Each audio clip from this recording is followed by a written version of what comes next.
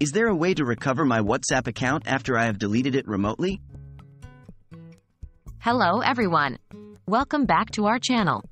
Today, we will be discussing an important question that many WhatsApp users have. Is there a way to recover my WhatsApp account after I have deleted it remotely? Losing access to your WhatsApp account can be quite distressing, especially if you have important conversations and media stored within. In this video, we will explore the possibilities of recovering a deleted WhatsApp account and provide you with some potential solutions. So, let's get started. Understanding the deletion process. To better understand the recovery options, it's crucial to comprehend how the deletion process works. When you delete your WhatsApp account, whether remotely or on your own device, your account is permanently deleted along with all your messages, contacts, and media. WhatsApp retains no backups of your account or its contents after deletion. Therefore, it is important to be cautious when choosing to delete your account, as there is no straightforward way to recover it. Recovering WhatsApp account with the same phone number.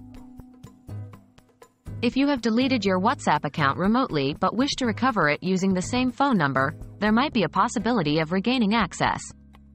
Reinstalling WhatsApp on your device and verifying your phone number might allow you to retrieve your account, including your chat history if a backup was created prior to deletion.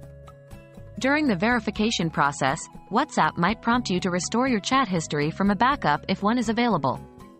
However, please note that this method may not always work, and it heavily relies on having a recent backup. Contacting WhatsApp support. If the previous method doesn't work, it's worth reaching out to WhatsApp support team. They may be able to assist you further in recovering your deleted account. You can contact WhatsApp support by visiting their official website and navigating to the support section. There, you will find various channels to reach out to their support team, such as email or a support ticket system. Be sure to provide them with all the necessary details, including your phone number, previous account details, and any relevant information that might help in the recovery process. Remember to be patient as the recovery process may take some time, and there's no guarantee of success.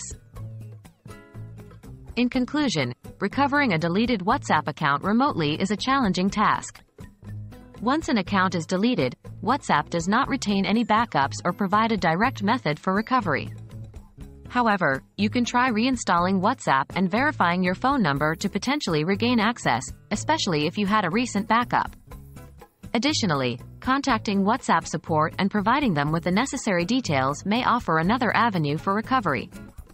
Nevertheless, it's crucial to remember that success is not guaranteed, and it's important to consider the implications before deleting your account. We hope this video has provided you with valuable information regarding the recovery options for a deleted WhatsApp account. Thank you for watching, and we'll see you in the next video.